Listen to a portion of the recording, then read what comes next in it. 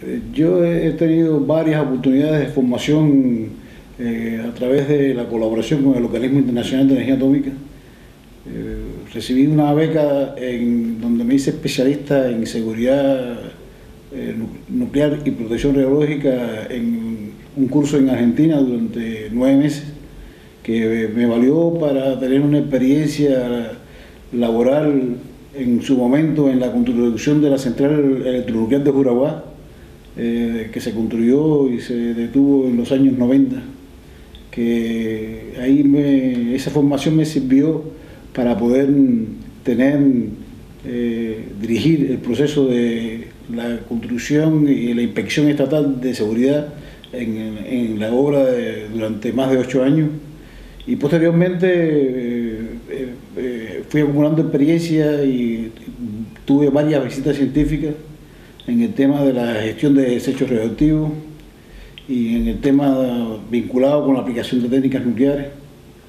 Transité posteriormente a ser jefe de un laboratorio de vigilancia radiológica ambiental que existía alrededor de la central electronuclear de Juraguá. Luego fui director del Centro Nacional de Seguridad Nuclear de, Cuba, el órgano regulador, que en este momento todavía existe. Y posteriormente fui cumpliendo varias actividades, fui eh, presidente de la Agencia de Energía Nuclear y Tecnología Avanzada de Cuba y en estos momentos, hace dos años, desempeño la función como viceministro del Ministerio de Ciencia, Tecnología y Medio Ambiente, tarea que estoy desempeñando en la actualidad. El desarrollo que ha tenido Cuba en el tema de la aplicación de las técnicas nucleares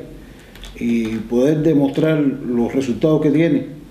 eh, ha sido muy importante la cooperación técnica con el organismo porque es prácticamente quien ha soportado y ha eh, contribuido a este desarrollo. En el tema de salud humana, cosa tema importantísimo para Cuba, donde el cáncer es la primera causa de muerte en estos momentos.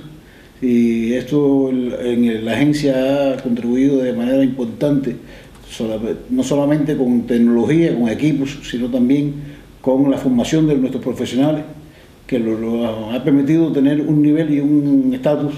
de peticia que eh, con, contribuyendo,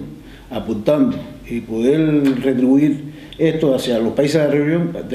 los demás países de la región, eh, que en estos momentos